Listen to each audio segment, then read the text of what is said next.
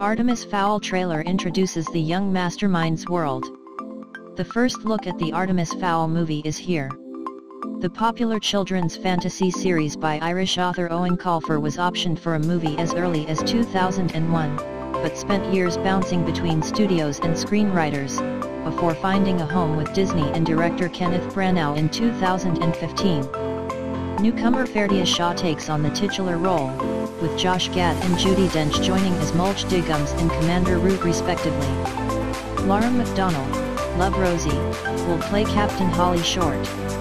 The book series follows 12-year-old criminal mastermind Artemis Fowl as he discovers the world of fairies, then, as all 12-year-old master criminals might, decides to rob them. Contrary to prior rumors, the movie will only cover the events of the first book. The trailer only shows a brief shot of Artemis himself, instead focusing on building up his backstory.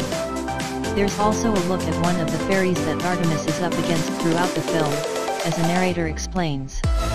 Artemis Fowl comes out on August 9, 2019.